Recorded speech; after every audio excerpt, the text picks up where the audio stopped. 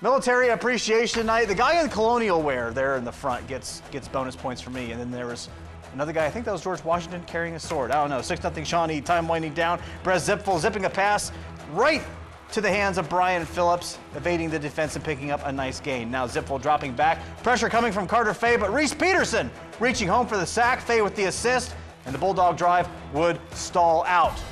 Now Shawnee with the football, less than two minutes to go in the half. Dominic Lynch rolling left, pitches to Jordan Banks. Banks picks up a couple of yards to stretch the defense out just a little bit. Then on the next play, Lynch to Keegan Wilson at the 35, makes a move, and he is gone all the way to the house. 65 yards for a Shawnee touchdown, but Defiance turns it on in the second half as they go on for the 28 to 12 victory over Shawnee in this one. Big turnaround for the Bulldogs in the second half.